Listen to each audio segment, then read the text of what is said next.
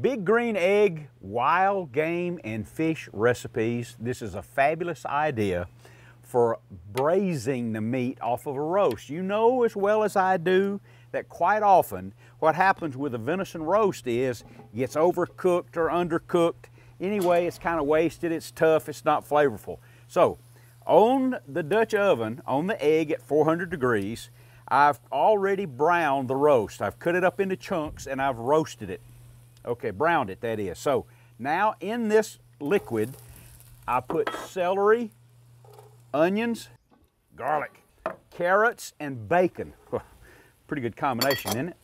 And once this caramelizes or mixes properly or sweat it out or whatever, once this gets that, gets translucent, when the onions are translucent, I'm going to add another set of ingredients and you'll want to stay right there and watch what happens in a very few minutes.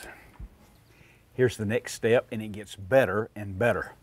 I'm going to add potatoes, crushed tomatoes, rosemary, thyme, oregano, beef stock, some more wine, this beef stock. Reserve wine, I'm gonna put all that in there. Let's, make, let's really jazz it up, make it worthwhile. Then mushrooms, you can't have venison roast without mushrooms.